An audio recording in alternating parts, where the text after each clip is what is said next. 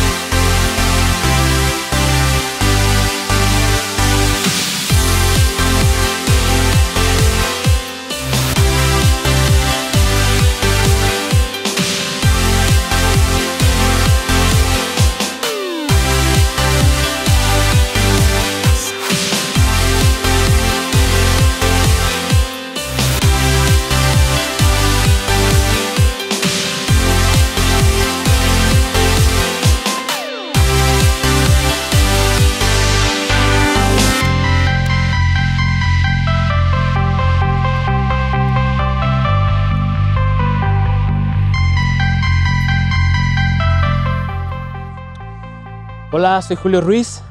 Estamos caminando el Camino Real. Atrás ha quedado Vicente Guerrero. Estamos en Poanas y nos dirigimos hacia Villa Unión. Esto es Caminando el Camino Real.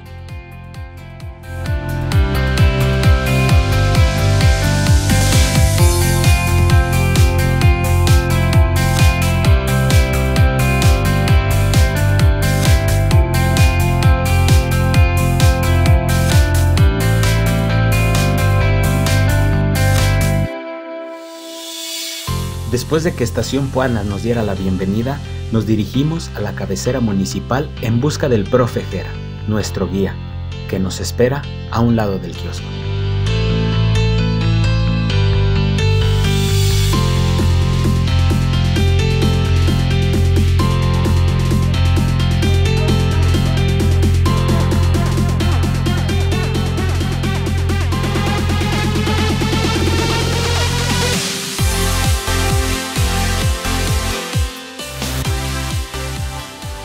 Buenas tardes, buenas tardes, profe. ¿Cómo está? Muy bien, gracias. Muy bien, soy Julio Ruiz y pues andamos aquí visitando su municipio. Ah, mucho gusto, ¿eh? Realmente llega a un municipio muy bonito, ¿eh? hermoso, hermoso, que tiene lugares de encanto. ¿Qué me podría contar acerca de Villa Unión, de Puanas, de pues aquí, de donde usted pues labora y hace todo esto, pues ahora sí que la educación, ¿verdad? No, pues este, nuestro Puanas antes pertenecía al Partido de Nombre de Dios. Y a partir de, mil- de 1923, ya cuando surge Villa Unión como cabecera municipal con la fusión de eh, San Esteban y San Nicolás, y empezamos a hacer municipalidad. Y a partir de ahí ya tenemos vida propia, ya tenemos recursos propios. Y es donde la gente empieza a esforzarse, a sentirse ya con una identidad propia y es donde le echan ganas para eh, cuidar, conservar su- sus sitios históricos, sus paisajes que la verdad eh, son una maravilla. ¿eh? Y pues lo buscamos a usted, profe Jera, porque andamos en esto del proyecto de Caminando el Camino Real y pues queremos conocer este, esas localidades, esa gastronomía, esa gente que ha de tener aquí el municipio de, de Villa Unión, Puanas, todo, de gente pues así que nos reciba cálidamente y pues por eso lo buscamos a usted, profesor Gerardo. No, pues es un honor, es un honor el que me hacen ustedes. Y, pues os- luego, luego, luego, luego entrando a Juanas van a encontrar la estación de ferrocarril. ¿verdad? Pero por ahí tenemos también el Cerro del Sacrificio, que es donde abarca toda nuestra historia prehispánica. Y tenemos sitios coloniales, tenemos haciendas a través de, eh, de todo el del río Puanas. Tenemos muchísimas haciendas desde la Ochoa, que allá se van a encontrar ustedes con un templo eh, que fue construido en el siglo eh, XVII y que la verdad es una belleza, es algo único en todo el estado de Durango. Pues yo creo que es momento de ir a visitar esos lugares y que pues con la narración y con la guía de usted pues tengamos este bonito recuerdo y pues maravilloso por lo que nos platica, a estar maravilloso esos paisajes y pues ahora sí estamos en sus manos, pues llévenos. No, pues vámonos. vámonos, ándele, ¿por Vámonos. dónde, por dónde empezamos? No, pues este, vamos a seguir por este rumbo Ándele, y- vámonos, profe.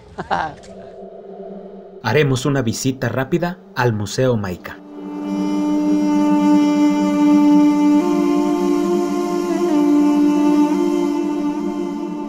El museo surge por iniciativa del profesor Gerardo Rivera Gallardo y se formó con piezas prestadas, donaciones por los habitantes de Puanas y municipios circunvecinos, además de personas que coleccionaban materiales históricos, artesanos, pintores, escultores, fotógrafos y por integrantes de la Asociación Civil Amigos de Puanas.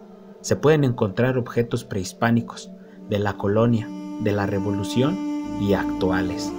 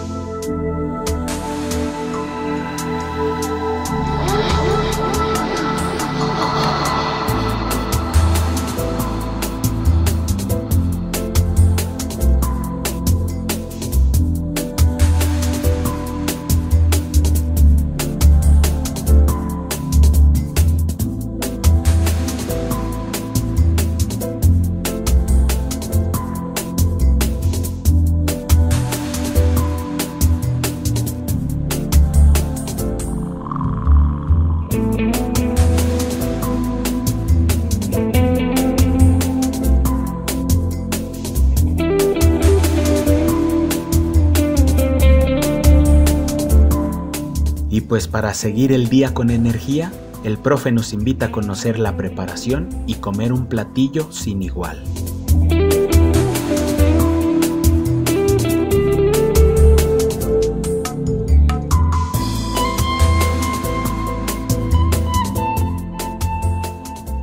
Los vengo a invitar aquí al restaurante Los Cazadores con la señora Chuyita para que disfruten un manjar auténtico de aquí de, De, de Buenas Villa Unión. Exactamente, Pues a probarlo, profe, porque ya se hambre. No, pues sí, adelante. gracias, gracias. Ahora qué. No, pues mire, le presento a, este, a Chuyita Porras, Mucho gusto, Chuyita. que es la persona eh, dueña de aquí del restaurante Los Cazadores y que hace unos uh, riquísimos platillos muy tradicionales de aquí de nuestro Juanes. Ah, pues. Ojalá que les guste. No, pues hay que probarlos primero, Sí, ¿verdad? claro Ah, sí, pues hay que ver usted. La elaboración. Ey, usted díganos para dónde caminamos. para acá, Ah, pues vamos. Vámonos, profe, véngase. Sí, vamos, vamos. Ok, pues. Ok, mire, aquí está. Este, les voy a decir cómo se hace lo que es de aquí de Villa Unión. Ajá. Aquí en Villa Unión tenemos este chile. Este, aquí se, se cosecha. Es un chile ancho. Se va a poner aquí en la licuadora todo esto. Se le pone la tortilla para que espese y rinda. ¿Mm? Este Aquí ya tenemos la carne. Aquí es la carne. Entonces ahorita vamos a moler lo que es esto. Ay, la licuadora.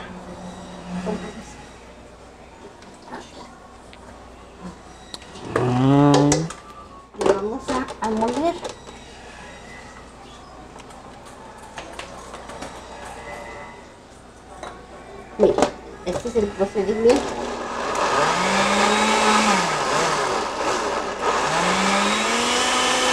Pásenme tantita agua para que muela bien. Y yo ya, pero aquí ya tenemos sazonado esto.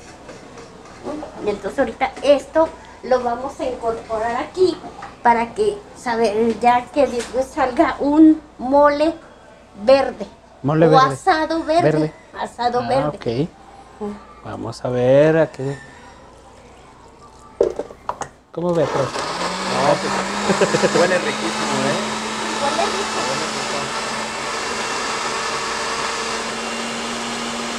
Hay que tenerla bien.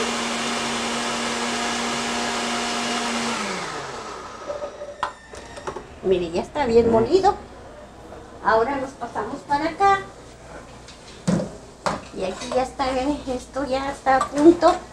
Y lo que hacemos es incorporarlo. ¿Es carne de res? Es carne de puerco. Ah, de puerco. Sí, es un asado de puerco.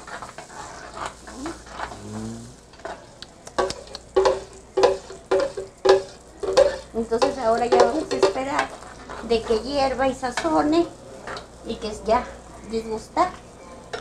Ah, así, se, se ve fácil, pero No, pues no, tiene no, su... se ve fácil, pero tiene su ciencia. Y más que es el chile que aquí se da, ¿verdad? Se da aquí. Eh, Ese es el Ese- ingrediente. esto, aquí cosechamos el chile. Ah. Es una de las cosechas de aquí de Villa Unión. Ah, perfecto. Ahora también tenemos este, mire.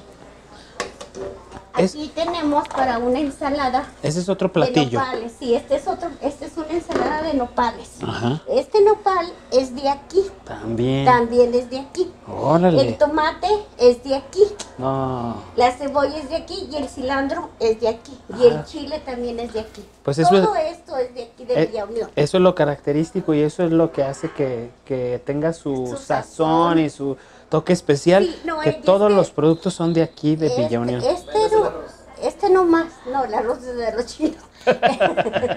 Menos- Este, este, estos nopales están pero súper riquísimos.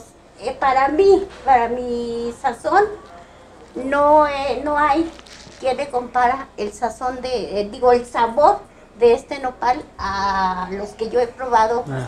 que traen acá de Aguascalientes, de Guanajuato, no. ¿Qué dice? Este es el. El de México tampoco, Tampoco. me gusta. Este es el rico. Este es el rico. Ahorita que lo, lo prueben, pásenme una cuchara, por favor. Vamos. Vamos, lo muchacha, la cuchara. a- La cuchara. Sí. Ah, miren, déjenles, les presumo. Ah, mire, también Esta tenemos fresa. fresa No me diga que. es cultivada aquí, en No, Villa Unión. pues, Es oiga, herma- eh, la cultiva un hermano de él. Mire, profe, ya vimos que hasta Sí. las fresas trae acá. Sí. Oiga, qué, qué, Le ri- hicimos qué rico. una agua de fresa. Bueno, Ahora ese sí, es otro. todo Made in Villa Unión, Villa Unión, ¿verdad? Sí, todo, todo aquí. Vamos a incorporar todo esto. Y Así. le vamos a incorporar esto. Ah, así de así. Vamos a hacer una ensalada riquísima. Ahora sí, vamos a probar mole verde. Sí. Vamos a probar una ensalada con productos totalmente cosechados, regados, cortados por gente de aquí de Villa Unión y de aquí también que los consumen. Y, y todo esto se consume aquí, profe, o también lo, lo exportan o, o lo- También, también se exporta, se venden a los pueblos, incluso hasta Durango al mercado eh, también se, se lleva cu- cuando hay muy buena cosecha, cuando hay excedentes, eh, pues realmente se lleva. Y el chile de aquí de Puanas es preferido, ¿eh? Y es preferido no nada más aquí en Durango, sino también acá en, en La Laguna, en la Ciudad de México. Total, ¿por qué? Porque eh, es- la tierra da un sabor muy especial al chile. Un sabor especialísimo, riquísimo, ¿eh? No, pues ya, ya, ya se me está haciendo agua la boca. No, Eh, aquí la ensalada, el, mole verde, Sí, el mole verde y luego tenemos unos chiles rellenos. el agua, ya de quiero... chile pasado, que también es de aquí. Haga de cuenta que Chiles es el rellenos de chile, chile pasado. Haga de cuenta que es el, el, el chile verde que le mostré ahorita. Ajá, Bueno, ese se pone a asar, ajá, se asa y luego se pone a secar. Es un procedimiento. Y órale. uno lo puede hacer también, puede hacer un guisado de, de chile pasado o puede hacer chiles rellenos. Se pueden hacer va- variedades de comida con ese chile. Genial, pues ahorita, ahorita vamos a probar todo, todo, esto, Todo esto. todo esto que está delicioso. ¿Me puedo agarrar una fresita? Claro, ya Mire, están desinfectadas Ay, y lavadas todo. y todo. No le hace así mero, ¿verdad? Así mero. Bueno, aquí está ya la ensalada. Ahora pasamos a, a ver el sazón de este. Mire ya cómo quedó. Ya está espesito, Ya ¿verdad? está espesito. ¿Se fijó cómo Sí. Y eso me Este ya está. Ese, ya acabamos Ya, con el primero. Me imagino que esos son los chiles. Estos son los chiles, pero ahorita vamos a ver el procedimiento. Ah, acá, esto ya es el producto Sí, terminado y ahorita. Vamos a... y ahorita nos va a mostrar otros Sí. chilitos. Este chile pasado, este ya está preparado, ya tiene aquí queso. ¿Ese es chile tienes- pasado? Sí, este Ah. es chile pasado, mira. Entonces este ya lo vamos a hacer así. Y ahorita lo pasamos al, al sartén. Venga. La lampreada, a ¿verdad? Ya lo lampreamos. A ver si sé un poquito, una que otra cosa de cocina, ¿eh? Sí, no tiene que saber. No, sí, sí, sí. Di- dijo mi abuela, necesita que aprender a cocinarse por Sí, si le toca a alguien que no sepa hacer nada. No, es que sabe que decía una de las cosas mi mamá. Y no me deja mentir el profe, el profe aquí.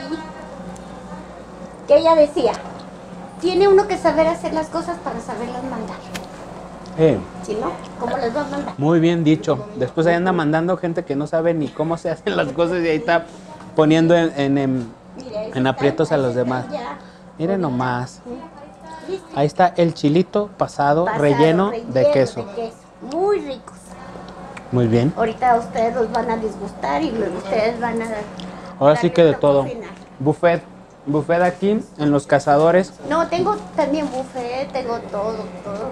No, le digo buffet porque vamos a probar chiles Ah. pasados, eh, mole verde, vamos a tener un agua de fresa y de- también tenemos la ensalada de nopalitos ensalada, con sí. todo hecho aquí, Aquí. Y, y todo. No, pues, profe, ya es justo y necesario Ya. mover el bigote, Ándale, ¿verdad? pues, no, Ir a comer. ¿O usted qué Este, piensa? Pues está excelente, ¿verdad? Y lo empanizado, ¿cómo se hace o cómo lo, lo realiza? Este, Ya, sí, con harina. con harina. Sí, se le pone harina y nada más, mire, se remoja. El chile este está durito Sí. y se remoja, pero tiene que rem- saberse remojar de modo de que no se desbarate, porque si se desbarata Mm. ya no lo puede rellenar. Eh, tiene un término, tiene que quedar un poco durito. Entonces ya se abre, se acomoda, se le pone el queso y luego ya se harina. Para eso ya se batió el huevo para capearlos. Y luego ya se capean y se guisan. Ahí está. Ahí está, profe, ya le pasó la receta por No. cuando vaya a hacer usted el Son- chile son los secretos de cocina, Sí, eh, no, no. secretos Y fíjese, ahora sí que andamos hasta la cocina, nos metimos hasta la cocina para ver, ¿verdad? Sí, pues para ver este procedimiento de estos platillos típicos y de toda esta gastronomía y de todo esto que se puede consumir y comer aquí. Que todo lo que ustedes van a ahorita a probar, a disgustar, es de aquí, de Villa Unión. Ande, qué rico. tenemos invernaderos, tenemos cebolla, chile, anchos, jalapeño, puya, de todo. Y ahora sí que usted pues utiliza lo que se produce aquí, ¿verdad? Sí, y por es. eso tiene, eh, pues por eso es ese, a lo mejor característico, ese sabor de todos los productos que aquí, gente que venimos de otros lugares y venimos a probar y, y que diga uno, ah, sabe, sabe Rico. dif- rico, Sí, no, diferente. No, no, la, toda, bueno, la gente que viene nunca se va con un mal sabor de boca de aquí. No, pues no, y hasta repite, ¿verdad? Hasta, hasta vuelve. Sí, no, luego se vuelve a repetir. Sí, Dice, pues- ya no me cabe, pero después regreso. O, o póngamelo para llevar, ¿verdad? Sí, así es. Pues esperemos que nosotros seamos de esos que podamos repetir y repetir y decirle, y tráigame otro. Y ahora tráigame de esto, profe.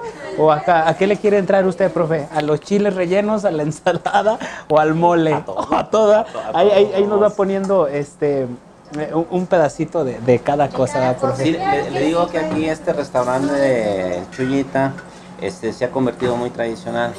La persona que venga a Villa Unión y no venga al restaurante de Doña Chuyita, Es se como- da cuenta que no vino. a Villa Es como si Unión. nomás pasó, ¿verdad? Sí, que, que no, no vino a Villa Unión a No. nada. Ok, pues yo por eso vine, por eso dijo el profe, necesitamos venir a ir a probar la comida de Doña Chuyita de los cazadores y por eso venimos y sirve que vamos a conocer toda esta exquisita gastronomía que se da es. aquí en Villa Unión, Puanas y toda esta hermosa este, región de aquí de Durango y pues, ande ya, profe, pues vamos, ¿cómo ve? Vamos a comer. ¿Cómo ve? Ya no esperamos que nos sirva y todo. Sí. Muy bien, pues vamos a probar la Vamos a comida. comer. Ya. Yo lo voy a probar. Y, le falta nada más la agüita de fresa. Gracias, gracias. Adelante, adelante. Ay, amable. Ahí está, profe. No, delicioso. Híjole. Pues ahora sí, profe. Provechito. No, pues vamos a, adelante. Ahora sí que, Lo que se produce aquí en Puanas. Pues- y se produce bien. pues ya, ya, ya vi que, que muy bien, provechito. y pues venga.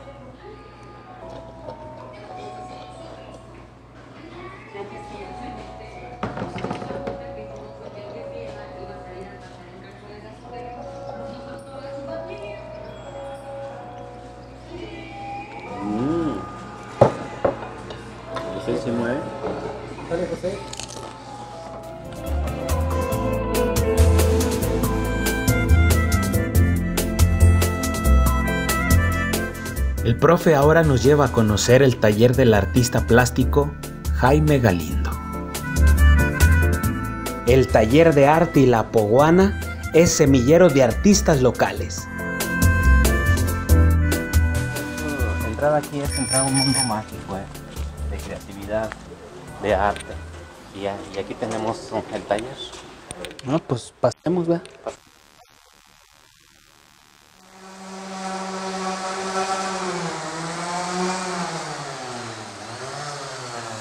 Él es Jaime, él es Jaime Galindo. Hola, mucho gusto, Jaime Galindo. Hola, profe. está? Jaime, saludarte. Pues el profe nos platicaba de, de un taller, de, de- especialmente de un artesano, de un artista.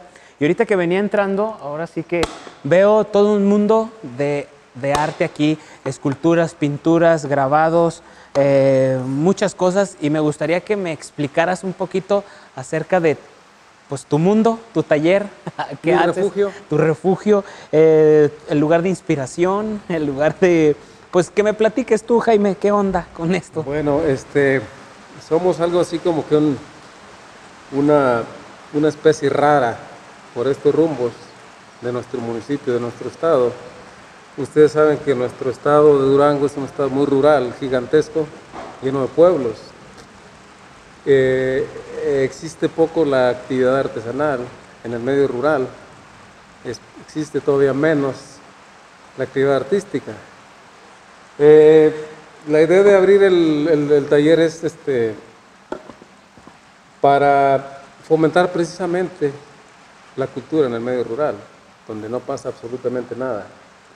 Eh, nuestras autoridades no se ocupan del medio rural, eh, eh, centralizan la cultura en la ciudad, eh, los presupuestos se van para allá y acá en el medio rural no pasa absolutamente nada. Entonces, no es que yo tuviera la intención de salvar al mundo, pero tengo un compromiso social y no quiero que les pase a los jóvenes lo que a mí me pasó cuando yo era un niño y un, joven, que con las, eh, la vocación y las cualidades que, que yo tengo, nadie adivinó a descubrirlas, ¿no?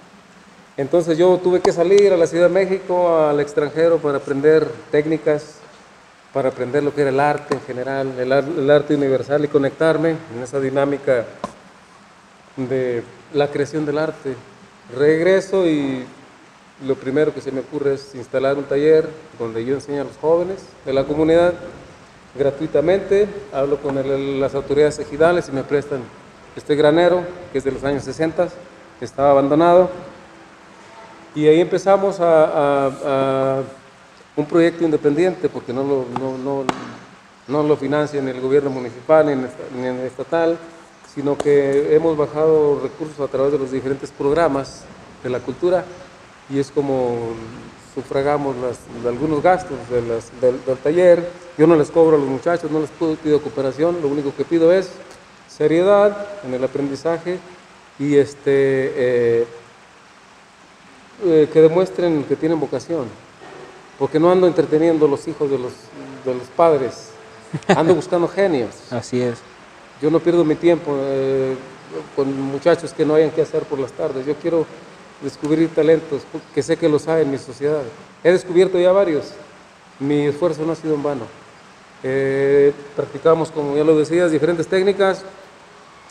Grabado en madera, talla en madera y lo que se acumule. Experimentamos con diferentes técnicas, eh, diferentes materiales. Le hacemos a la arqueología incluso. eh, entonces, eh, aparte, no solamente enseño a los muchachos asuntos, eh, cómo mover las manos, cómo usar las herramientas, sino la cultura es un concepto amplio y el acceso a la cultura eh, es un derecho humano que no, del cual no gozamos en el medio, medio rural. Tenemos una sala de lectura que nos dio el Instituto de Cultura, tenemos eh, proyector, tenemos eh, cine de arte, una gran colección, y yo trato de inducir a los jóvenes hacia ese gran arte, la pintura, la literatura. Eh, que, ¿Qué me autoriza para ser un instructor? Bueno, tengo más de 20 años, eh, tengo récord en haber ganado premios estatales de artesanía, he ganado uno de grabado a nivel nacional y, este, y me autoriza mi, mi sinceridad hacia los muchachos, mi, verdad, mi interés genuino. Yo no les cobro, lo, mi pago es cuando ellos aprenden alguna cosa. Y digamos que todas las piezas que realizas tienen un toque de aquí de la comunidad. Cada, cada pieza está inspirada en algo de aquí de tu comunidad. Este, eh, sí y no, porque vivimos en una sociedad eh, relativamente nueva. Si nos comparamos con los del sur, que tiene una tradición milenaria en cuanto a creación artesanal, nos vamos hacia el norte y nosotros existimos como sociedad prácticamente a partir de la reforma agraria. Se repartió la tierra de las haciendas, había poco arraigo en, el, en, el, en la práctica de, de, las técnicas artesanales. Es decir, se hacían ollas para el agua, para la cocina, canastas para cargar eh, verduras, frutas. Y este, como no estaba tan arraigado, eh, la tradición artesanal a la hora de que se invade el mercado con productos industriales, optamos por comprar y la poca tradición que había para fabricar eh, objetos artesanales con las manos se pierde. Y todos los días, aquí el profe no lo va a negar, se va perdiendo, así como se van perdiendo palabras de uso común, regionalismos. Uh -huh. Es decir, como que la, la, la sociedad tiende a, a, cuadrarse, a, a, a homogeneizarse y, y, vivir en un círculo cerrado, un círculo cerrado de consumo. Eso es algo, ese es un crimen, es lo que hace el capitalismo. Nos infunde, nos induce al consumismo. Te dice, si no consumes, no vales. Es un, es un crimen, es una, es una filosofía criminal. Pero, pero te digo, parte de nuestro trabajo es más que nada innovador. No, no tenemos mucha, mucha, mucha tradición, mucho arraigo en las técnicas ni en las formas. Entonces, prácticamente estamos innovando en nuestro, en nuestro trabajo. ¿Y tu materia prima? No solo es la madera, por lo que veo, de, de este, volteamos a ver un poco alrededor. Este, yo he experimentado eh, técnicas desde que soy niño, prácticamente. Eh, he experimentado técnicas buscando siempre la innovación y sobre todo que en la técnica vaya de por medio el uso, el uso de las manos a un nivel, una interacción con la materia a un nivel muy alto. Por eso preferí la escultura, la ardua técnica de la talla de madera. Es dificilísimo. Han venido, han venido muchos muchachos y se, se, se echan para atrás de plano, no puedo, no puedo. Imagínate un tronco sólido, cerrado, tienes que liberar las formas a puros golpes, es fuerza bruta. Y obviamente una herramienta indispensable es la paciencia.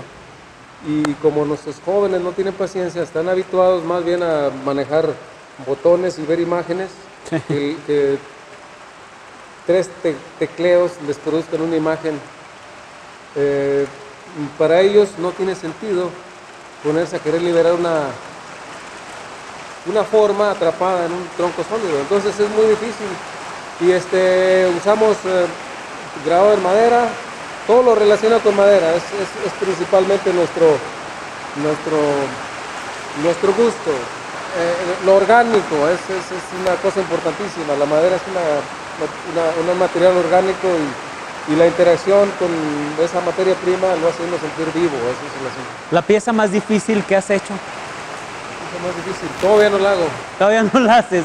O sea, todas las que hemos visto las has podido hacer. Por eso dices este, que todavía no la haces. De hecho, para alguien con mi experiencia y con mis ganas de trabajar, no hay imposibles.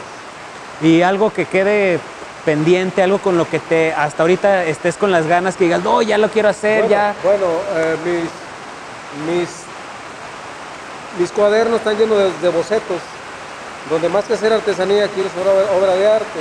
Yo soy un artesano que quiere ser artista, trabajo para ser artista todos los días. El artista es una persona que tiene mucha sabiduría, lleva muchos años ser artista. Ah, por- eso a mí me sorprende que cualquiera se asume como artista, incluso exhibiendo sus, sus ejercicios, ¿no? Yo lo exhibo mucho porque todo lo que hago lo considero ejercicio. No he hecho mi obra maestra todavía. Y me dices que, que una obra difícil, bueno, hecho obras muy difíciles, pero técnicamente eh, y formalmente son difíciles, pero solo lo difícil es estimulante. Claro. No nos gustan las cosas fáciles. No, a nadie. Y pues. ¿cómo ve? ¿Qué me puede decir usted, profe, que conoce aquí a No, pues eh, realmente es una persona que convivimos de jóvenes jugando fútbol juntos. Y ya lo veía con esa práctica, con esa visión ahí, cuando está uno chavo, ¿verdad? No existía este, ese acercamiento aún, sino que ya hasta después que empezamos ya que nos reencontramos y que me acerco con él, eh, nos saludamos con afecto y todo, y, y empiezo a admirar cómo él empieza a crear y a crear y a crear, y cómo empieza a contagiarnos y a interesarnos sobre lo que él está haciendo. Y la verdad, pues esto, las creaciones de él son maravillosas, pero está contagiando a más gente no digamos en gran cantidad, pero sí está contagiando a gente que posiblemente puedan traer más trabajo, más proyectos más adelante. Genios. Por lo que dice, está buscando Sí. genios. Y pues eso no se dan eh, en todas las esquinas. Y pues, El, el- el asunto es que sí estoy buscando genios, pero también estoy buscando ayudar a los muchachos que descubran su capacidad intelectual, espiritual, su sensibilidad. Ustedes saben que vivimos en un país lleno de, de muertos, de asesinatos. Es gente que se les ha alterado su forma de percibir la vida, su forma de sentir, su forma de emocionarse. Yo nomás quiero ayudar un poco a recordarle a los jóvenes que somos seres humanos, tenemos, estamos llenos de cualidades y nuestros, eh, nuestro placer, nuestros placeres principales son gratis, es decir, usar la imaginación, usar nuestra capacidad de emocionarnos, eso nos hace los verdaderos seres humanos. Además, un acceso a, a la cultura nos, nos, nos llena como seres humanos. claro, No andes buscando fuera de ti lo que tienes dentro de ti. Todo. No andes buscando en lo material algo que no, no, no, no es lo que te va a ayudar a, a- a sentirte vulnerable. La lo, lo que te hace eh, perder esa- ese sentimiento de vulnerabilidad es conocerte a ti mismo, conocer tus capacidades intelectuales, espirituales. La cultura para eso sirve, el arte para eso sirve. Es decir, eh, eh, detona tu sensibilidad y tú puedes, eh, tú ves más, tú oyes más, tú percibes más, tú ves más, eh, tú entiendes más.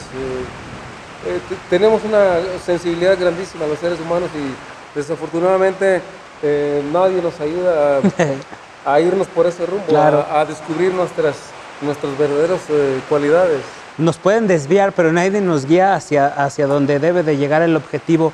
¿Y qué sigue? Ya has hecho artesanías, ya has hecho, pues ya has, has hecho varias piezas y todo, pero ahorita, ¿qué sigue para Jaime? ¿Qué sigue? ¿Qué, qué, ¿Cuál es el siguiente pasito Pues, este, eh, de ser- muchos objetivos que me ser- imagino que tienes, Ser un artista. artista? Eso lleva muchísimos años, 50 y quizás no lo logre, de eso estoy consciente.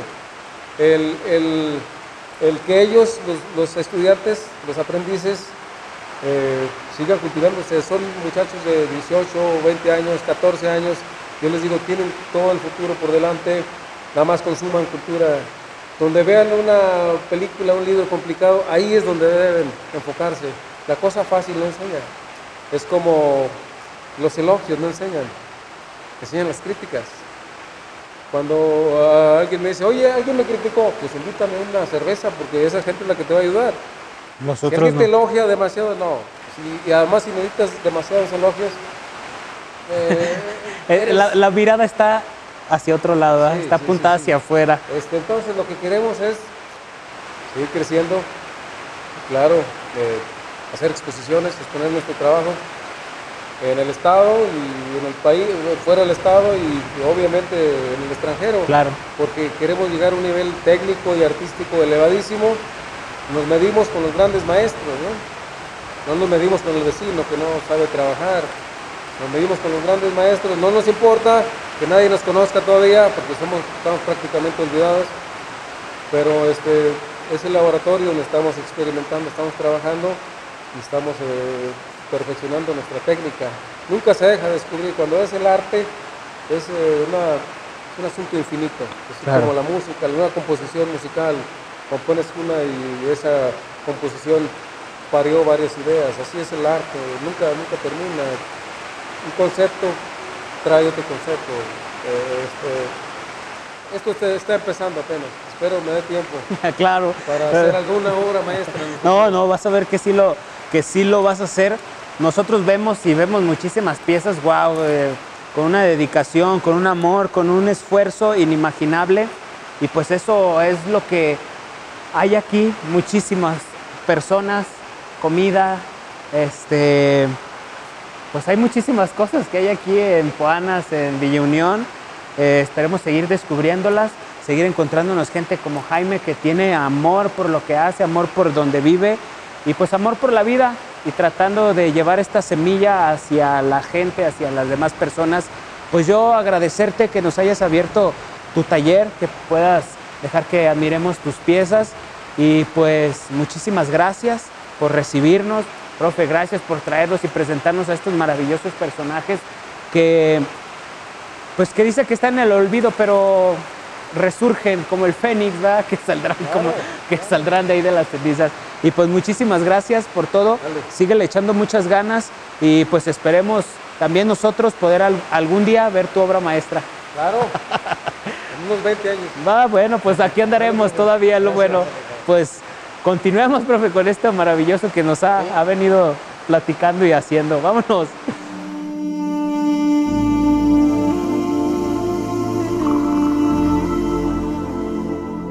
Probaremos licores hechos con todo lo que hay en la región.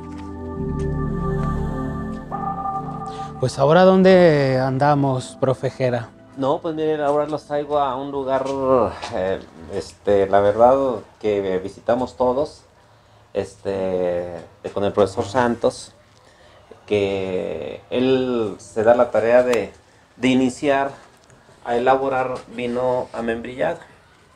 Y ya derivado del membillado ya vienen las demás frutas, pero son puras frutas de aquí de la región. No, pues eso, ya nos hemos encontrado con mucha gastronomía y muchas cosas. Profe Santos, un gusto conocerlo y pues venimos a, ver, solo a ver, profe, o podemos, ah, pues podemos degustar algún, algún, algún vinito. que aparte de los licores, ¿qué más es lo que, lo que hace, profe? ahorita nosotros, esta microempresa, nace a través de que de ver que de utilizar las frutas silvestres de aquí del municipio, este, como es el caso del mezquite, el nopal, la mora, que son frutos que no se utilizan por la gente, no, o sea, se está tirando toda esa fruta. Entonces ahora nosotros les compramos esa fruta a la gente, se ayuda a la gente y nosotros elaboramos la mermelada y el licor, licor de frutas. Ya ve que el licor está hecho a base de jugo de frutas, miel y alcohol. Y fermentado. La fermentación no, es destilado esto. Está, tenemos el licor de chile. Son 26 clases de eh, licores diferentes. Oiga, de chile, de este también que vi uno que me sorprendió, bueno, de mezquite, que uno nada más ve el árbol, ¿verdad? Y dice, ¿cómo? De elote, de, mm, bueno, de nopal, imagínese. Este, mucho este de mora. De mora. También hay mezcal. Este de fresa. De fresa. Entonces, conforme, como esto es eh, eventual, este, por temporada. Por temporada es cuando... Ahorita está la temporada de la, de la fresa y estamos haciendo licor de fresa y mermelada de fresa. Y, luego viene el de los ciruelos. Ciruela. Y vamos a hacer el licor de ciruela y mermelada también. O sea, utilizando todo lo que, lo que hay en nuestro municipio. dándole y luego presentándonos en eventos donde donde vamos a llevamos los productos para que la gente vea algo que no está en el mercado normalmente. Como el caso de, de los vinos esos de mezquite, de nopal, de chile, pues son vinos que normalmente no los encuentran. Ajá. Y nosotros los estamos haciendo, los estamos elaborando y estamos, aparte de esto, este, estamos haciendo el pinol. Pinole. El pinol. Este pinol es de maíz pinto, este pinol. ¿Y para qué lo usan? ¿Qué, qué es como Es el un... atole. Ah, será tolito de Ese pinole. pinole, a- aparte del maíz pinto, no le ponemos nosotros azúcar. Lleva Ah, canela, lleva, lleva Ah, huele bien rico. lleva anís y lleva clavo de comedia. Pero ese es puro maíz pinto, que es el que se siembra aquí en la región. hijo, Se siembra también el maíz blanco, ¿verdad? Pero el especial, el especial para el atole, pues es el maíz, el maíz pinto. de este. Y este otro, este viene siendo pinole de los 7 granos. Siete granos. Son de los 7 granos, o sea que esos llevan habas, lentejas, Chícharos, trigo, maíz, avena. Y pues, y aparte el ingrediente secreto, las ganas y el amor por lo que hace, ¿verdad? Ese es, eso cuando dicen, ¿cuál es el ingrediente secreto? Pues a veces no hay, simplemente el gusto y el cariño por hacer esto que se está haciendo. Y pues es algo sorprendente y algo como de ejemplo que la gente que vive aquí en el municipio, lo que se produce en el municipio se consume, se, se ayudan entre todos ustedes y esto pues le da un valor agregado a que es 100% de Villa Unión. Y pues yo quisiera que me regalara un poquito, que me diera una muestra del de fresa, porque ayer probé un agua de fresa, o probé el agua de fresa, deliciosamente. Y pues ahora el, el licorcito, deme uno chiquito, oiga, después me pico. Es que después me pico, me conozco, profe, me conozco. Mire nomás, ay, de fresita. Ey, échale, échale. Ahí mero, ahí está bien, para, para no vernos tan, tan golosotes. Anda. Hasta se me antojó para un raspado, fíjese.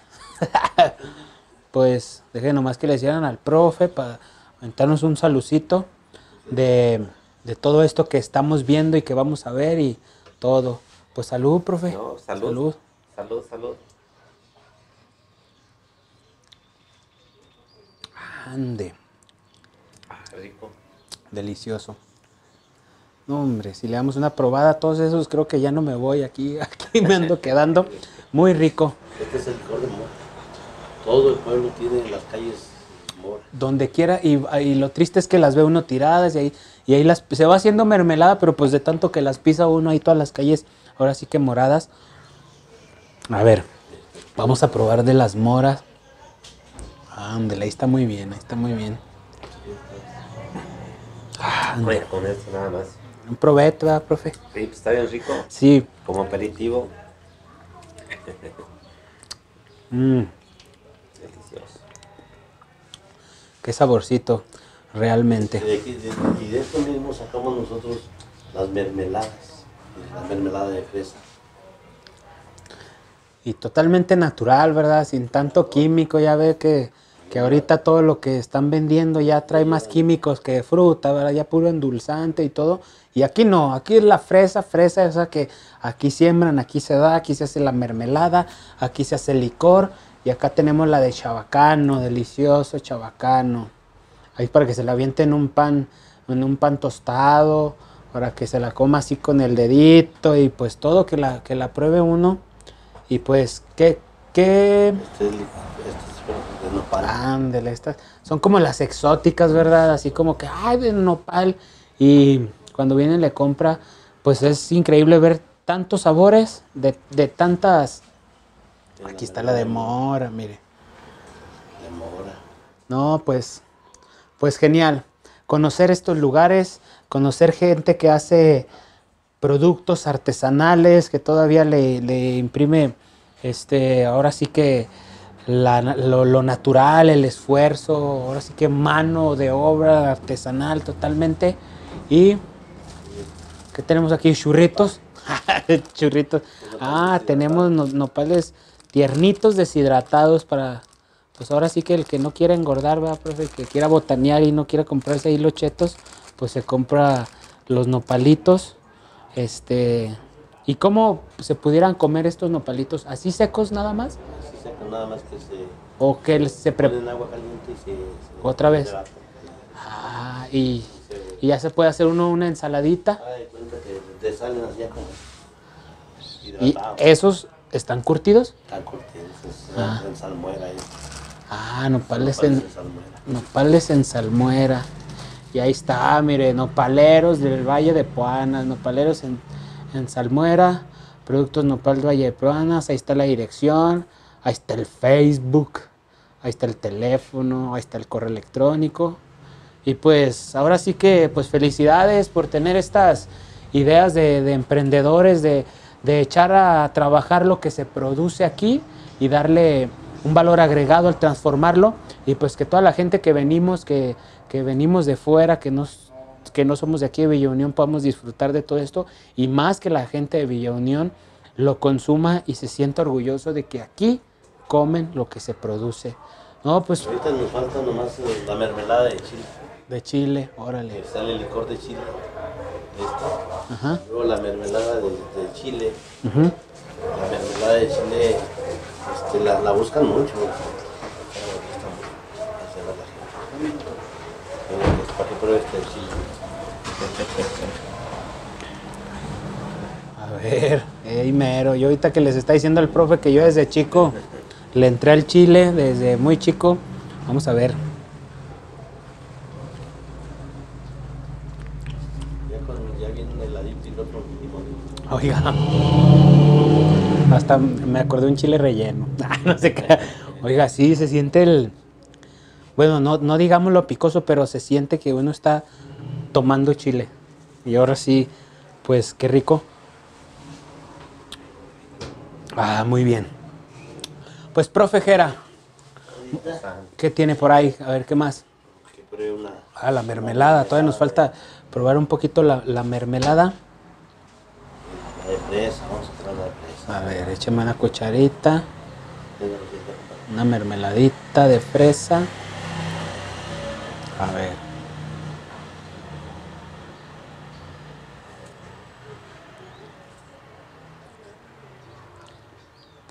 Mm. Sabe, se ve, se siente, la fresa está presente. Muy rico. Muy diferente a lo que uno prueba, porque la mayoría de lo que prueba, profe Jera, es como azúcar. Y aquí sabe a fresa. Esta es de Chabacán. chabacano. Mm. Yo no soy muy amante de las mermeladas, pero ya sé por qué. Porque no tienen el sabor que tienen estas. La mayoría de las otras mermeladas que prueba uno sabe mucho a azúcar. Ahora sí que nos, va- nos vamos. vamos a ir muy dulces. Vamos utilizando nosotros el, el jugo. ¿Esta de qué es? Es mermelada de mora. De mora. Ahora sí. De aquí abajito, ándele pa' qué. Miren nomás, qué color. Profe Jera, muchas gracias. Muchas gracias. Esperemos que no sea la última vez que vengamos. Y pues gracias. Nos llevamos un muy buen sabor de boca. Y pues a seguirle, profe Jera. Ahora, ¿dónde me va a llevar? No, pues uh, nos miramos, la verdad muy delicioso. Y pues de aquí nos vamos a otro lado, No, donde pues- se van a quedar pero encantados. Pues vámonos, véngase. gracias, profe Jera. Después de saborear licores exóticos, vayamos a la derivadora.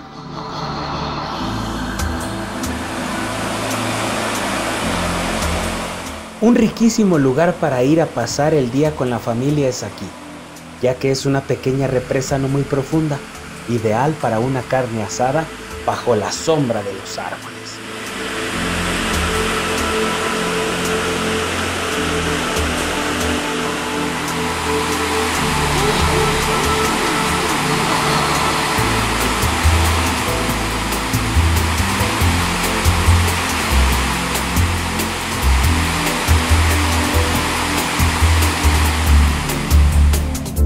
Fuimos invitados a escuchar al grupo de música de la escuela, que ya tiene una larga e importante tradición en la música.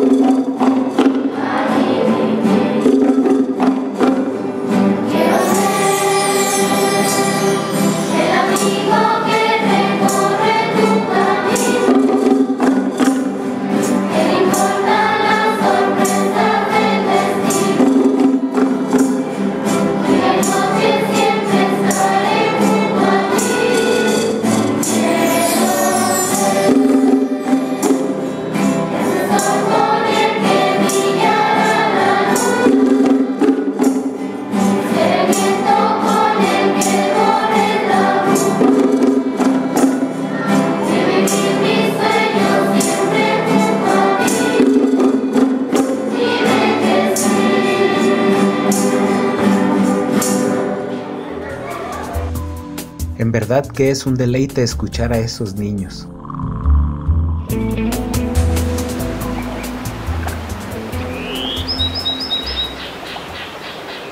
No me la podía creer cuando me dijeron que había un manantial de agua mineral, así que no podía desaprovechar la ocasión e ir a beber un poco.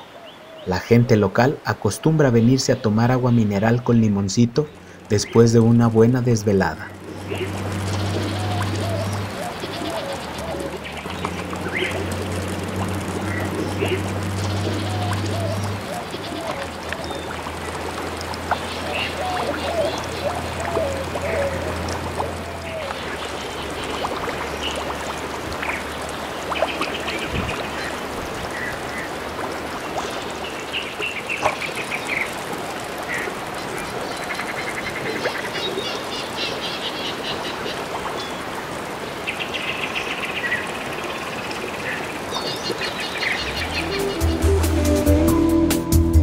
Seguimos adelante un poco para ver los arquitos del acueducto y es un lugar para días de campo.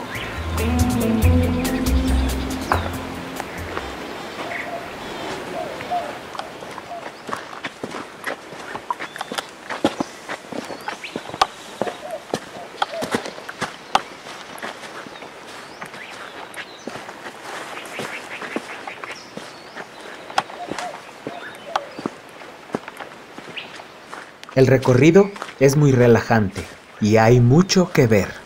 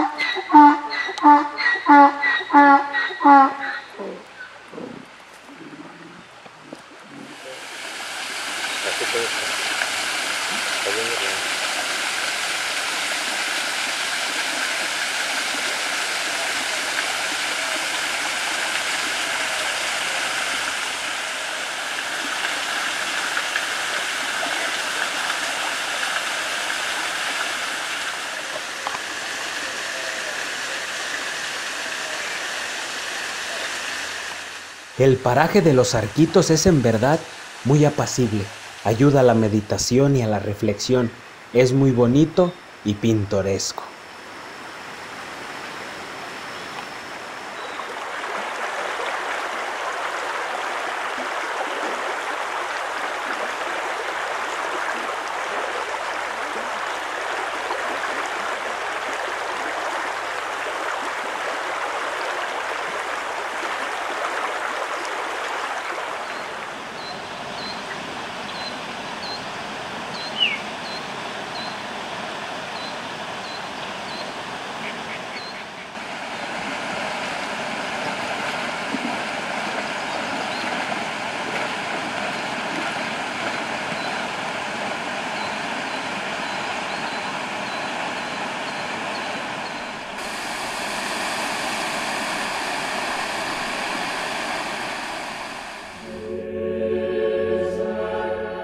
Regresamos al pueblo para visitar la iglesia.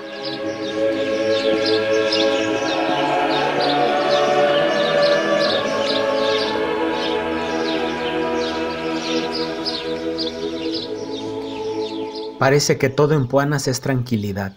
Sentarse un rato aquí es algo que no se debe dejar de hacer.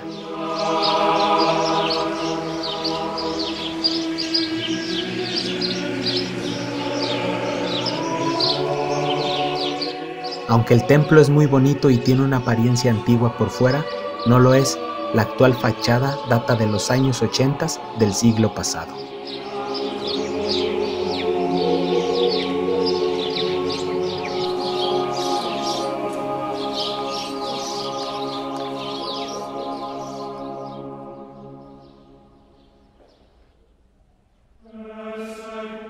El interior conserva bastante esa esencia de principios del siglo XIX, a pesar de tener vitropiso y ventanas modernas.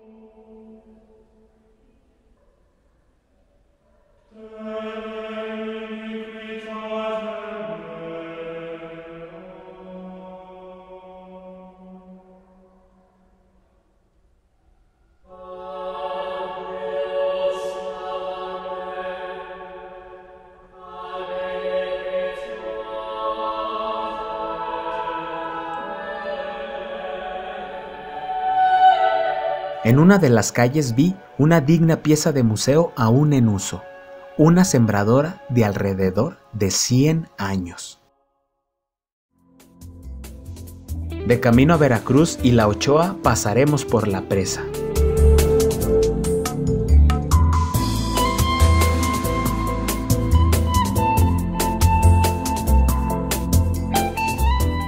La presa Francisco Villa, popularmente conocida como Presa de la Ochoa, funciona desde 1917 y tiene una capacidad de 86 millones de metros cúbicos.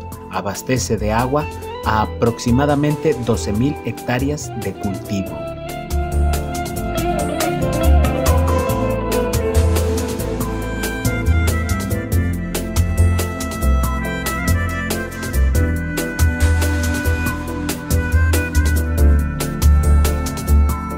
El acueducto es anterior de la construcción de la presa y abastecía de agua a la fábrica de hilados y tejidos El Salto, que ahí existía y cuyos productos eran enviados a Europa. En 1912 fueron destruidos el acueducto, la fábrica y la mayoría de las haciendas de Poanas por el general Jesús José Cheche Campos.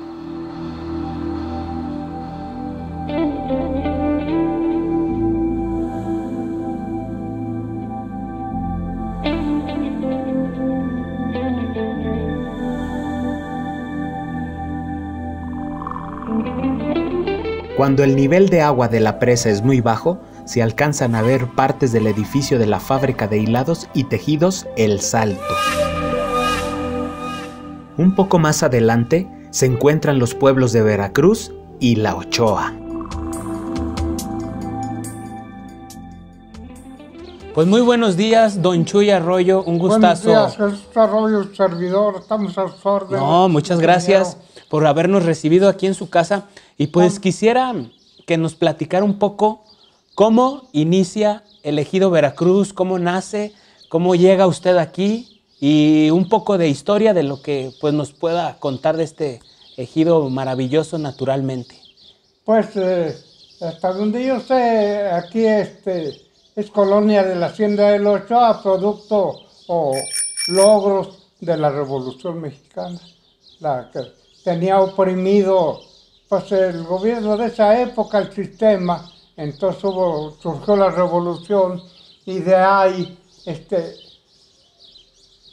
la gente pues cansada, aburrida de, de las haciendas, y luego como la revolución este, propuso ahí con sus caudillos, sus líderes, ejido, repartir todas las, las haciendas, repartirlas.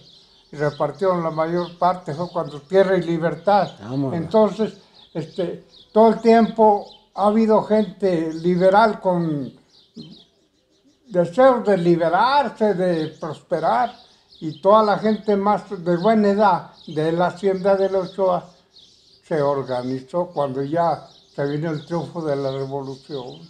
Y allá andan organizándose y pues siempre con temor de los administradores, estando terminada todo, mataban uno que otro, y corrían de aquí se escondían, pero llega el día que se decretó y ni modo, y se apartó toda la gente, y fue cuando y se mete en la solicitud de tierras de ejido y procedía también de pequeña propiedad, este, eh, aquí, para hacer un ejido aquí de la misma hacienda. Invitan a toda la gente de los Ochoa, pero gran parte estaba pues un tanto comprometida, fanatizada con, con los más acomodadillos de allá y, y no quisieron.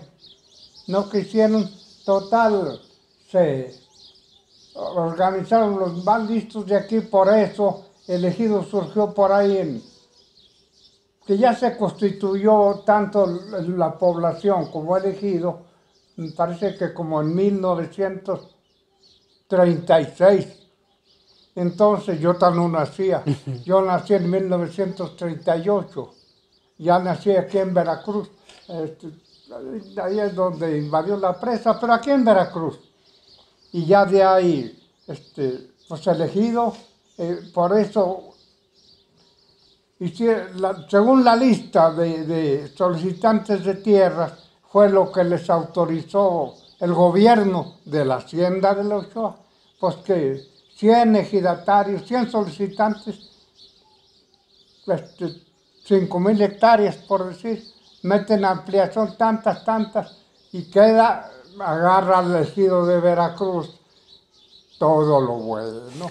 Y quedan los de los que no querían, pero como hubo triunfo de la revolución y tenía que haber el cambio, si no tenía.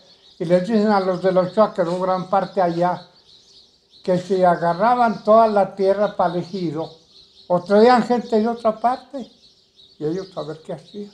Que porque pues no tendría caso haber ganado la revolución para seguir igual. Igual y les quedó ahí casi toda la sierra, por eso elegido aquí, este, ya agarró lo mejor. Que son Todos los... manantiales, hay tres ojos de agua, manantiales de agua tibia, muy bonita, nace desde el estado de Zacatecas el arroyo grande, muy grande, que viene de los llanos, pero ya como a mitad de ejido empieza a manar agua, y ya vas para acá, y escurre mucho y están los ríos. Eh, el río caliente y el río frío viene de esta otra sierra de acá de los Ochoa, pero el agua fría que con menos agua. Y está otro ojito de agua total. Este, yo de ahí me... Ya llegaron, mis papás eran de, de la fábrica, ellos no eran de aquí de los Ochoa, pero la fábrica era de ellos mismos, de los brazos. es que se vinieron aquí al ejido y yo ya nací aquí en Veracruz. ¿Y por qué surge el nombre, el nombre de Veracruz? Este, se, ha preguntado en algunas ocasiones, este, pero concreto la razón no se da, pero alguien dijo, un señor ya de edad, que andaba en los repartos de la tierra, los ingenieros, un, un ingeniero que era del estado de Veracruz y que posiblemente él propuso que le pusieran Veracruz, sería para tantito darse, realce, o quién sabe, porque Veracruz no, no se relaciona con nada, ¿Con qué? con nada, no. Nomás que eh, alguien preguntó es que por qué era Veracruz allá, y dicen que porque había una señora, una líder, o no sé de dónde era una, se llamaba Vera, Vera y se apellidaba Cruz. Cruz. Veracruz, era Veracruz. Y ahí, y ahí por eso... ahí, de ese de- era Veracruz y de ahí. Pues, pero aquí nosotros mismos nos hacemos la pregunta que por qué le pusieron Veracruz. y pues ya así se quedó y ya nadie le quiso cambiar el No, nombre nadie, ejido nadie, y, y orgullosos. Y para el 17 de enero se celebra aquí este, la oficialización del ejido, donde quedó constituido, y la población del mismo nombre, porque hay, hay ejidos que tienen su pueblo de otro nombre. Ejemplo, Villa Unión. El ejido es San Esteban y la población toda es Villa Unión. Ahora sí que son veracruzanos. Veracruz, oiga. bueno, así se comenta y todos nos confundimos porque, pues, eh, de, de todas maneras, antes había, pues, eh, puedo decir yo sin, sin asegurar menos cultura, menos conocimientos de muchas cosas. Ahora ya tanto estudio, tanta escuela, tanta universidad, pero todo el tiempo ha habido gente tan inteligente como la que hay ahora desde hace millones de años. Claro, solo ha cambiado. ¿Cómo, han, cómo hacían lo de antes? Desde entonces hay barcos, póngale que desde millones no, pero de, de, de miles de años ya hay, hay aviones, hay trenes, Ya había pues tecnología mucha diferente, tecnología, mucha ciencia. de- diferente a la que ahora estamos Ahora- viendo. Ahora ya está muy práctico todo, Muy práctico. muy práctico nada más, pero es lo mismo. Y, Los y- trenes caminan por las vías, los aviones, pues, obvio que por el viento, y así sucesivamente. Lo que hay es así, pero apestado de tanta camioneta, tanto carro. Aquí casi, no, ahorita nomás ustedes andan ahí. Pero ya de Villanueva para allá, vaya a México. Yo conozco, digo, he ido a México, no conozco, pero un asco. Yo tengo hijos allá, en México una hija, la mayor, y un hijo que es ingeniero. Y, pero no, no, no, no, este, a veces voy, eh, me estaba, cuando estaban allá jóvenes estudiando, me estaba hasta un mes, pero venía, a mí, pero día y noche, válgame Dios, tengo un témpano de, y luego está en estas fechas que iba yo hace unos 30 años o poquito más, no había esos libramientos grandes, esas desviaciones, todavía todo por las ciudades. todavía Fue, todo. fue, Oiga, ¿y qué me pudiera platicar algo del Camino Real? ¿Del Camino Real de aquí a dónde? Pues que pasó por aquí, por donde había algo, si hay algún vestigio del Camino Real tierra adentro. Mire, aquí le nombramos nosotros Camino Real al que conecta de acá de... Aquí, porque aquí colindamos con el estado de Zacatecas. El terreno de Veracruz, elegido, colinda con el estado de Zacatecas. Aquí es orillero del estado, de- del municipio y del estado Veracruz. El último pueblo que hay aquí del municipio y del estado. Ya para allá es Zacatecas, ahí está cerquita la Guadraya, unos para que no llegue a 20 kilómetros, unos 15 kilómetros, ya para Zacatecas. Entonces, de allá venía un camino desde los tiempos de las haciendas que le nombraba uno camino real. Caminaban los carretones, pues obvio, de llanta de fierro. Y, había las veredas, veredas que cruzaban el cerro, cruzaban quién sabe qué terreno, y el camino real. Y este conducía de alguna manera hasta Villa Unión. Y ya de ahí conectaba pues hasta México se puede decir, hasta México porque todo el tiempo ha habido camino de- desde aquí, desde Sinaloa, Sonora hasta México, todo el tiempo ha habido camino, camino real, desde la historia de, de la colonia ya había ejércitos que caminaban en carretones eh, con los ejércitos desde acá hasta México, a llevar plata, a llevar oro a las reinas de, porque aquí, en Durango, en la sierra había minas, a los carajos de plata y de oro, y Sinaloa y no sé qué partes, solo, y todos lo pasaban por aquí y llevarlo en puro lomo de mula. Pues, que ya después que los caminos reales, pero puro caminos de terracería. Y ahorita hay un camino real, es una carretera, un, un autopista. Pero antes un camino real era donde caminaba un carretón. Todo lo demás puro caballo, puro burro, puro lomo de, de animal. Así se la... Así, pues así se, se la la- navegaba uno y yo también. Todavía cuando navegaba con cosecha, no sacaron nuestra cosecha en puros burros. En puro- ya poquito en cartones de llanta de fierro. Y ya poquito remolques y ya ahorita unas trailotas de aquí a allá. con los tractorzones, unas ruedotas de adelante de ese tamaño. Ah, Este, ha prosperado el país grandemente, yo lo compruebo, porque lo estoy viviendo, lo he vivido y lo veo. Pues ya nos platicó esto del origen del ejido Veracruz, que Sí. todo viene de, de acá de Ochoa. ¿Y cómo era la hacienda de Ochoa? Pues, eh, por ejemplo, ¿a qué se refiere? ¿Qué- qué- de qué ¿Cómo era físicamente? ¿Qué se vivía? ¿Qué, qué pasaba alrededor de toda esa hacienda Eh, de pues la Ochoa? hacienda de Ochoa, este, ya le, le dije, era, los brachos eran dueños del terreno y de la gente, entonces ellos se dedicaban a sembrar y a crear ganado. Y que, obvio que tenían acá la fábrica, pero tenían mucha tira de riego, mucha, mucha, hasta todo el charco de la presa, todo era de aquí de la hacienda de la Ochoa y eran muchas hectáreas, 400, 500 de puro riego, y era el la hacienda que tenía más riego de toda la región, para allá de donde agarraban agua. No había pozos, no había presas, no había ríos. La que les sobraba aquí a los brazos, ellos eran dueños del río, dejaban pasar la que les sobraba. Entonces tenían riego, a los sembraban mucho maíz y mucho trigo y tenían mucho ganado, mucho, mucho agostadero. ¿Y qué tal se la pasaban ahí? ¿Usted trabajó ahí en la hacienda?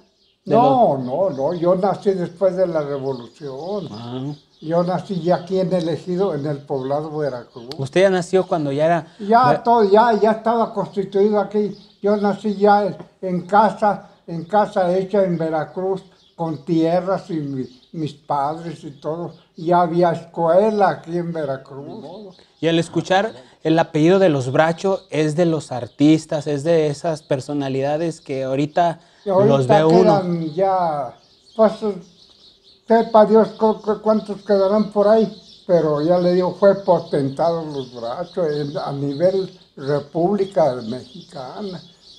Tenía, tenía yo un libro por ahí donde decía que tenían 48 haciendas, pero tenían licenciado un Miguel Bracho, tenía su casa ahí en Durango, decían que él había participado de alguna manera cuando las revoluciones sería cuando la independencia, desde la independencia.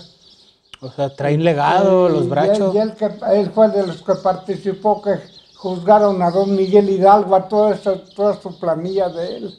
Decían que para el 16 de septiembre, el día 15, le apedreaban su casa ahí en Durango, que necesitaba irse a México, a ese Miguel dice.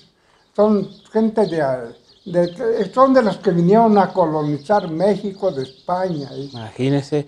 Y, y hay quienes, por ejemplo, tenemos cineastas, Diana Bracho y Julio Bracho ahorita Sí, sí, también. Julio, Julio. Y se aparecen por aquí, han venido. Julio Bracho, entonces ya, ya murió, un, Diana todavía vive, Sí. ya hasta salen las novelas, Ándele. ya le digo, ha venido aquí y ¿Y Pero- cómo la ve la gente de aquí cuando viene? O... no, no, no viene, pues, este, no de incógnita, no escondida, pero pues que se preocupa por ellos, y no, no quedó buen recuerdo de ellos, no quedó buen recuerdo. Entonces, si viene o no viene, es como... No, no, mejor que ni venga.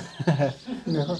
Y decía, yo le preguntaba a mi papá, oiga, ¿y si usted conoció a, Ju- a don Julio Bracho? Dijo, sí, yo era adolescente.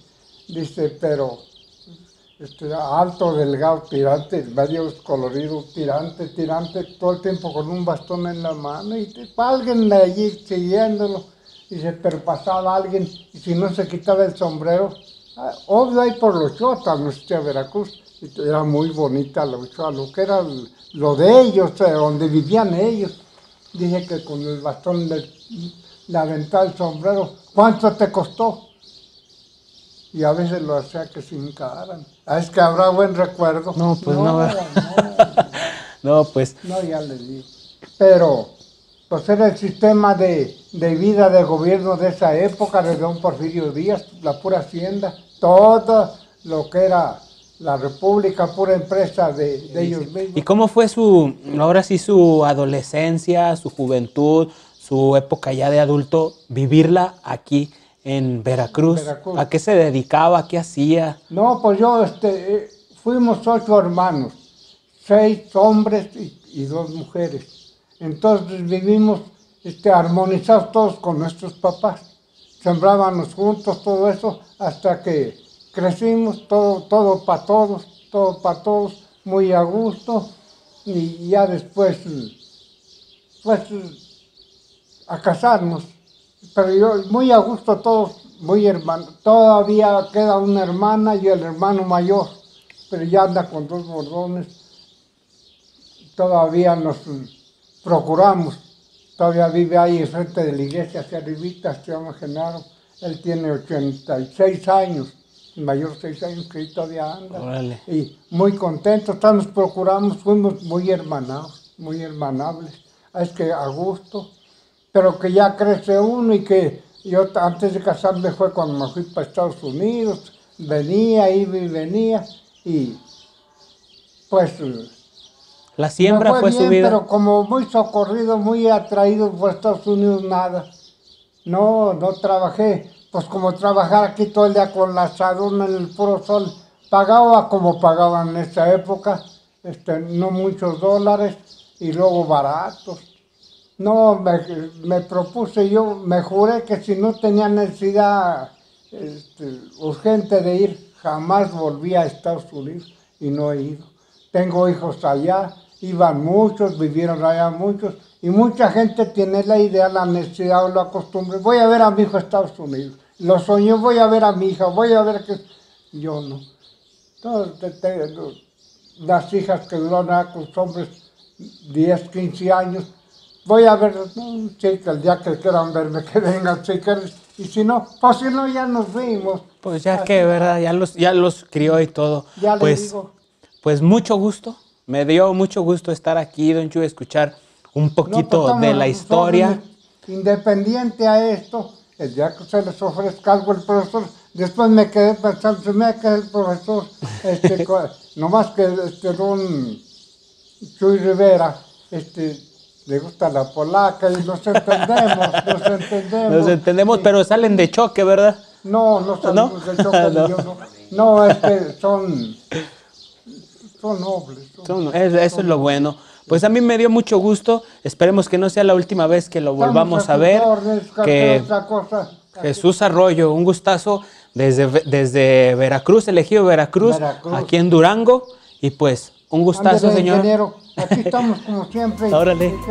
Y así dejamos a Don Chuy, sentado fuera de su casa, viendo la vida pasar.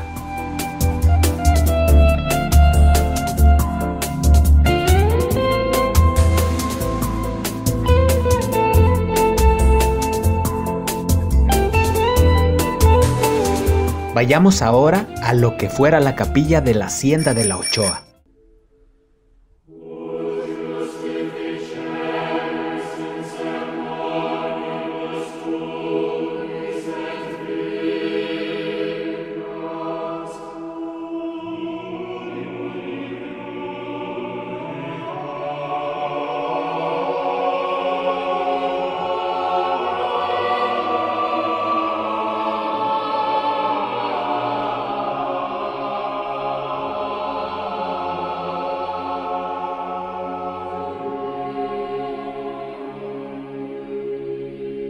El templo San Miguel Arcángel fue terminado el 1 de abril de 1800, según la fecha escrita en su portada de estilo barroco, y recuerda mucho al Palacio de Zambrano en la ciudad de Durango.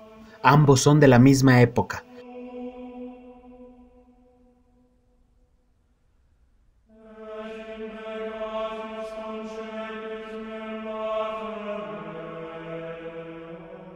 La cantera color naranja nos recuerda que estamos cerca del estado de Zacatecas.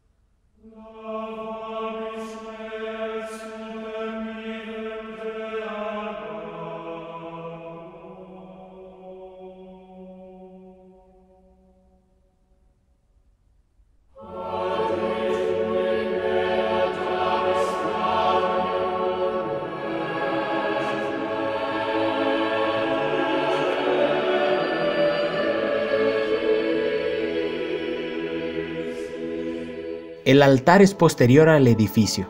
Es de estilo neogótico y fue terminado en 1892.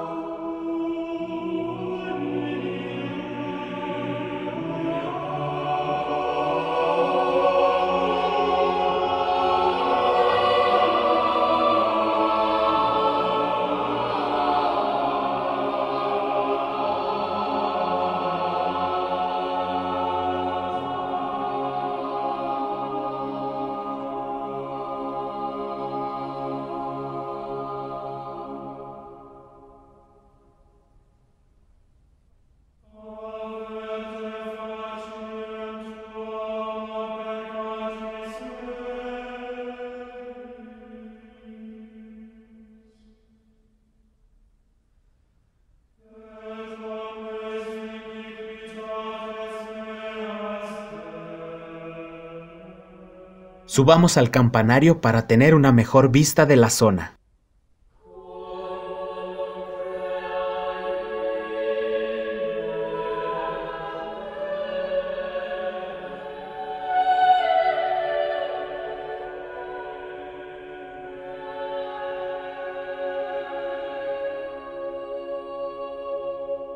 Ahora sí me puedo dar una idea de cómo pudo haber sido la hacienda. Desde aquí se ve la casa grande, los terrenos, el molino, los establos.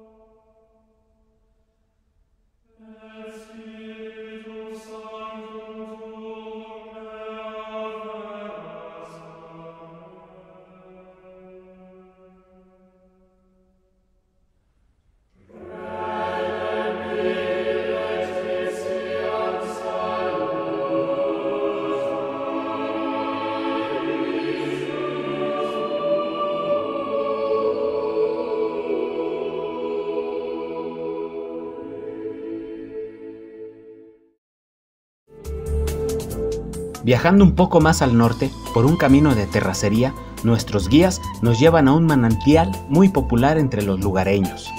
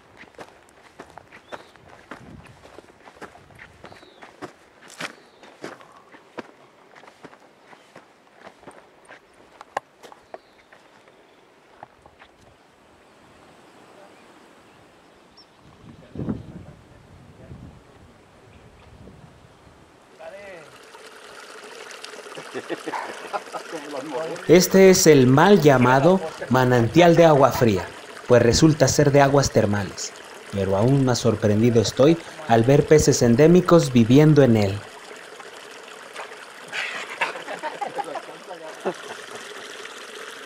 Pero lo tuve ahí como meme.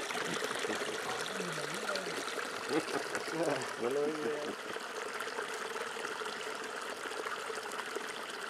La puentecilla y. O sea, tiene los álamos, todo eso tiene aquí Pero nombre. sí la Sierra Santa María. Pues sí, por decir así, una, una apariencia así. sí. Meter el pie a ver si se comen la Así cutícula. como tenemos otros valles, la Sierra del Jabalí, la Sierra del Jabalí, ay, o sea, todo eso tiene su nombre, cada parte. Pero son, son pinos piñoneros. Sí, aquí con es puro pino piñonero.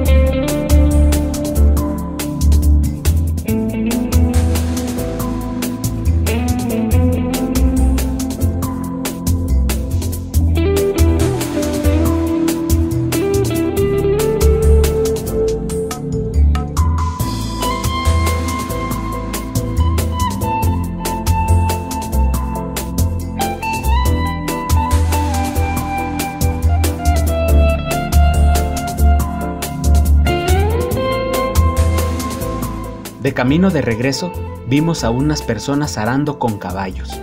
Es importante no depender de máquinas todo el tiempo.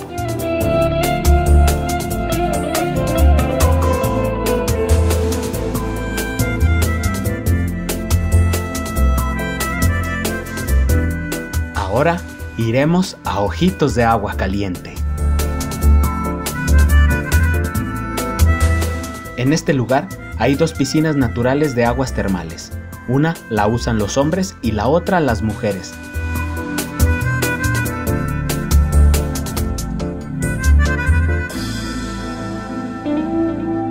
También hay peces y dicen que se acercan a comer y dejar limpia la piel.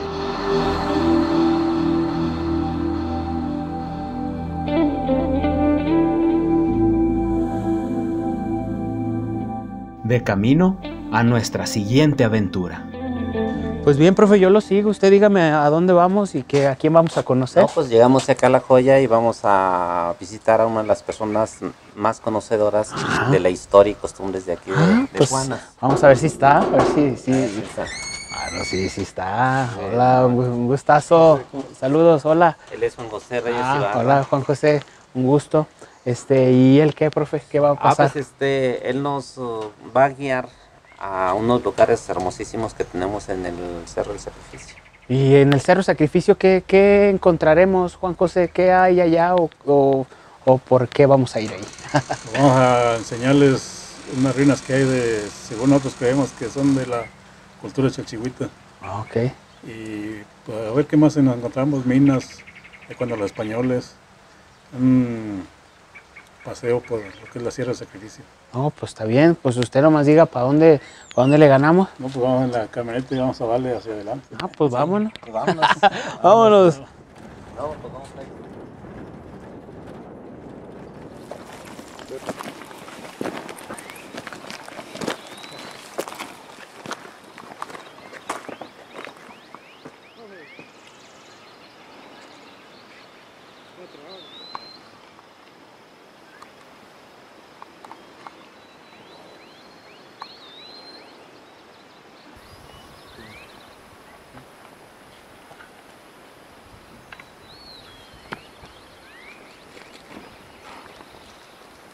ahí.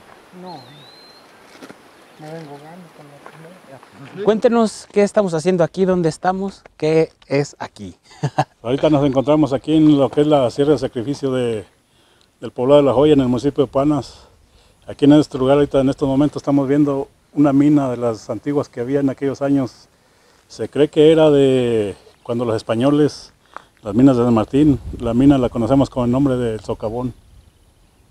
Ah, con el socavón y algo más que nos pueda también comentar, profe, algo más de que le pueda agregar a Juan José Reyes. Pues realmente este Cerro del Sacrificio para nosotros es algo sim- simbólico, es algo mágico que nos trae leyendas, nos trae identidad y nos trae recuerdos de que tenemos aquí orígenes. Y que todo, indígenas. así es, y todo un patrimonio este, natural este, que tiene aquí el, el Poanas y sus, este, ahora sí que sus municipios o sus lugares. Y pues vamos a seguir caminando esto del Camino Real, porque nos espera todavía una, una, una cuestita, una subidita y vamos a ver qué más hay por allá. Pues acompáñenme, yo más bien yo los acompaño, vengan, vámonos.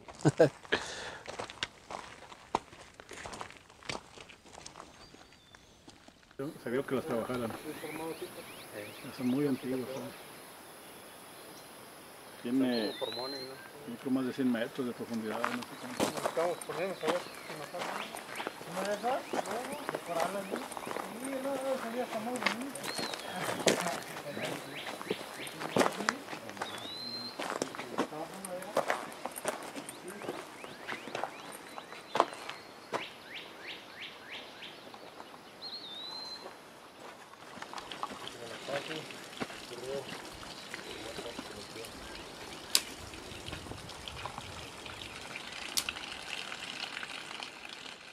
Pues nos decidimos a descansar un ratito después de esta larga subida. Y profe, ¿dónde estamos aquí? ¿Esta pilita qué o qué nos dice profe Gerardo? Híjole, pues eh, es parte de, de la riqueza de nuestro cerro, es parte de la riqueza de nuestro suelo ponense. Estos manantiales, estos manantiales que la verdad hasta da, da gusto con este calor y este cansancio de subirlo, la cuesta, de mojarse, de sentir la frescura ¿verdad? tanto del, del agua como del, del viento, algo muy bonito. Y aquí me está diciendo que aquí está cerca el manantial. ¿A cuánto tenemos el manantial? Aquí el manantial natural está a unos cuantos metros. eh, eh, la- los ganaderos hicieron esta pila para darle de beber a sus animales. Y esto ha sido siempre de años, muy natural, nunca se ha agotado, todo el tiempo ha existido. Ahorita, en la fecha que estamos, pues todavía no es tiempo de, de agua, estamos casi más bien en tiempo de estiaje. Y ustedes, como acaban de ver, el chorro es natural, está- Sí. no para. Hay mucha agua. ¿Y como qué, qué tipo de animales se, se han encontrado? ¿Qué hay por aquí? Así que digan que anden por aquí. ¿Hay venado? Aquí, cuando hemos venido a visitar aquí esta pila, nos hemos encontrado huellas de venado, jabalí. Se decía que había por ahí un, lo que es un leopardo, algo, animales que, lo que son lo- los caballos yeguas en tiempo de noviembre, diciembre, cuando tienen sus crías, se las han comido recién nacidas. Entonces sí se cree que hay algo más de, aparte de venados y jabalíes. Ah, ok. Y pues, ah, pues estamos en esto de caminando el camino real. Vamos a buscar el manantial y pues vamos a seguir buscando algún vestigio, alguna parada natural y pues vamos a esperar que nos sorprenda este suelo ponense, como decía el profesor Gerardo, y pues continuemos con esto del camino real.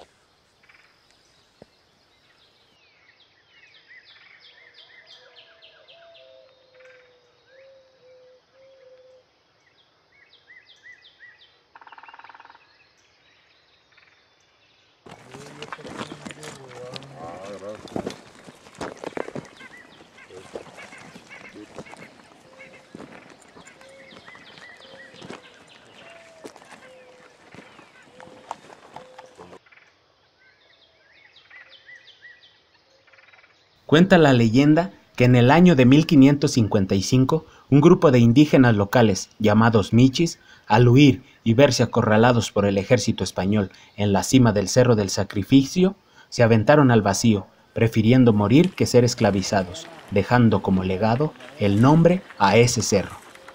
Pero por más que busqué el precipicio, no lo encontré.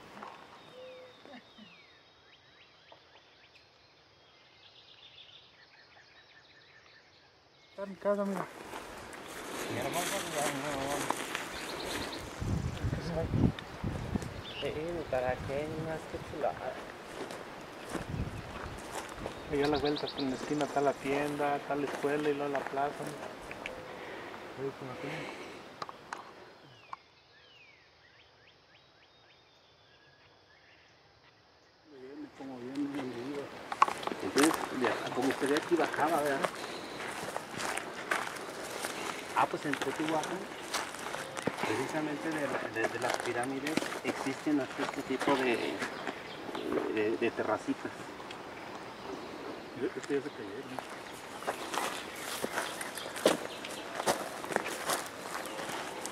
De, de aquí se aprecia mejor.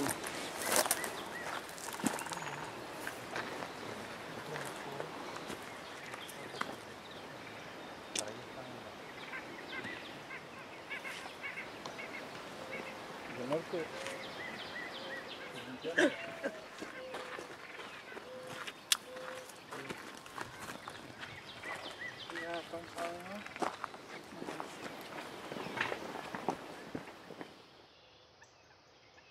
Ya estando abajo del cerro, nos invitan a conocer una serpiente fosilizada en una piedra.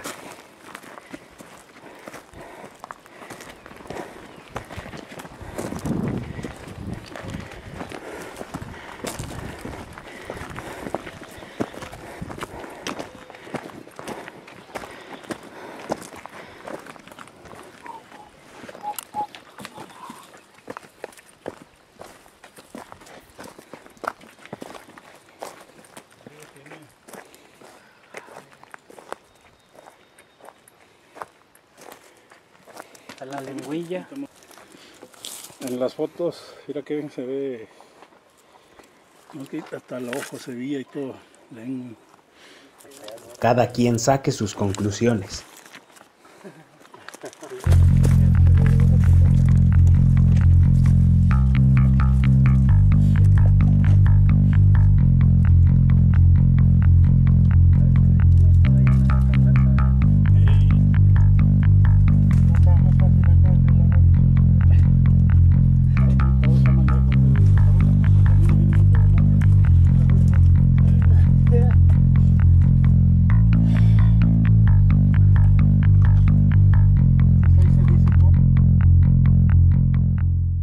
Pues espero que les haya gustado y disfrutado el programa. Hoy terminamos aquí en la capilla de la Hacienda de la Inmaculada Concepción de Poanas. Conocimos su historia, cultura, gastronomía, tesoros naturales e hicimos buenos amigos. Adelante nos espera nombre de Dios. Los esperamos en nuestro siguiente programa, Caminando el Camino Real. Hasta la próxima.